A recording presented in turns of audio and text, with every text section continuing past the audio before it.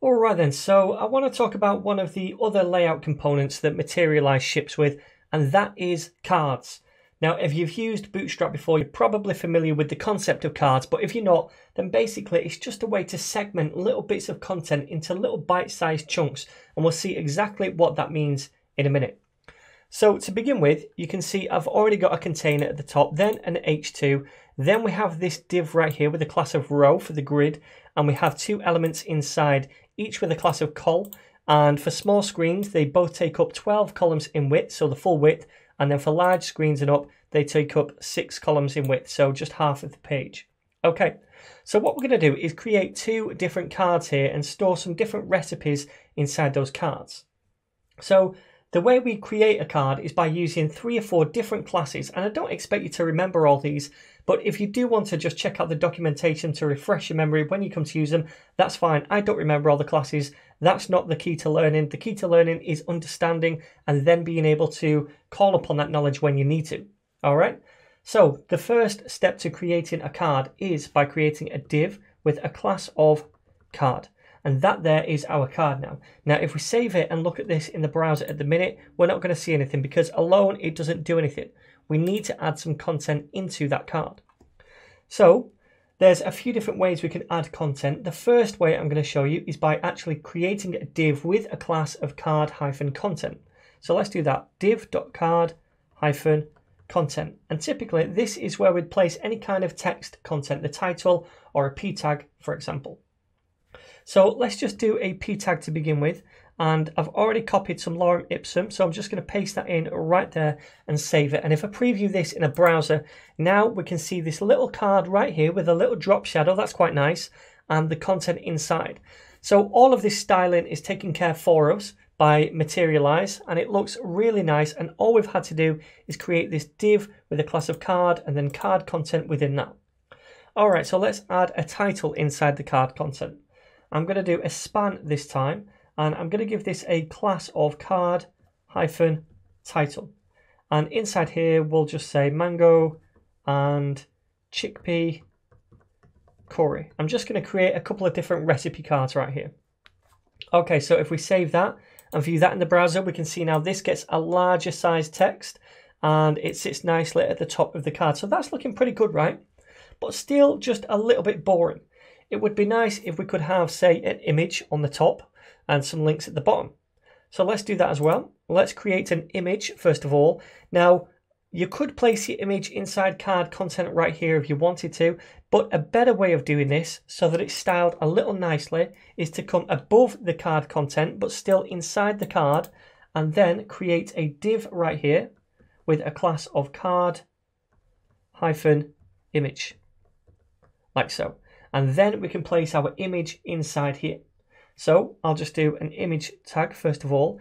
Now you'll notice for this video, I've got a couple of images over here on the left. I've created an image folder and we have the curry image and the pasta image. Now you can get those from my GitHub repository. The link is going to be down below for that if you want to save them as well. But I'm just going to dive in here and use those images for this lesson. So the source for this image is going to be in the image folder forward slash curry.jpg. All right, so let's save that and view this in a browser. And there we go, my friends. That is looking pretty good so far, right? So now we have our image title and we have some text and that's taken very little work to do. If I was using my own CSS, this might have taken me five or 10 minutes to style up, but now it's taken me one or two. All right, so sometimes we see links at the bottom like more info or buy now. So I'm going to show you how we can add those dudes on as well. So underneath card content, and again, if you wanted to, you could add them inside the card content, but a better way is to give them their own wrapper, and that would be a div with a class of card hyphen action. So card action is a div or an element where we can place all of our action links. So if they want to buy something or view more, etc., that's generally where those links would go. So let's create a couple of links, anchor tags. Uh, the href doesn't need to go anywhere. And inside here, we'll say more details. And then down below, we'll do another anchor tag. And this one can say, I don't know, view ingredients. Okay, so save that and view that in a browser. And now we can see these things at the bottom as well. That is looking pretty nice.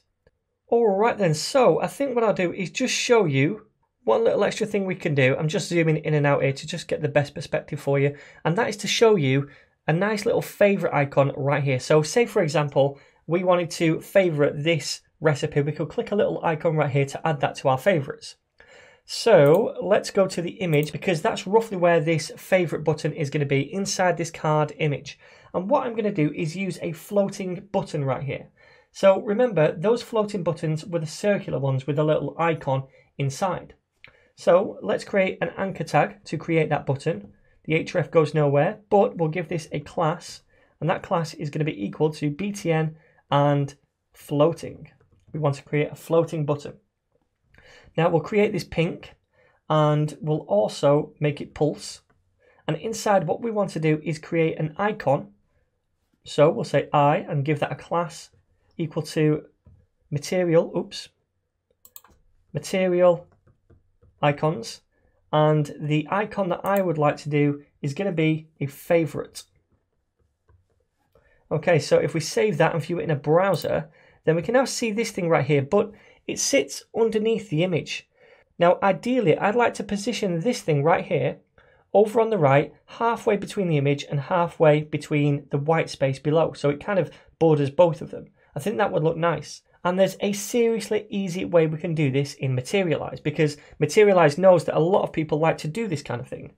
So the way we do that is just by giving this thing over here a class called halfway fab. And fab stands for floating action button. Halfway just means basically halfway between this container and the one below.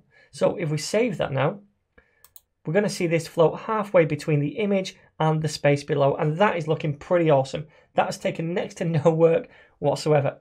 All right then, so let's just finish this off by creating another card. And all I'm going to do is copy this stuff right here. And I'm going to paste it down below inside here. And just scoot it back a little bit. All right, so now I'd like to change this thing right here to pasta so we can use the other image instead. We'll also change the title right here and we'll change that to rainbow pasta salad. Save it and check this out in a browser.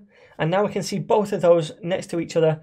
Very simple to do and very effective as well. So that there, my friends, is cards.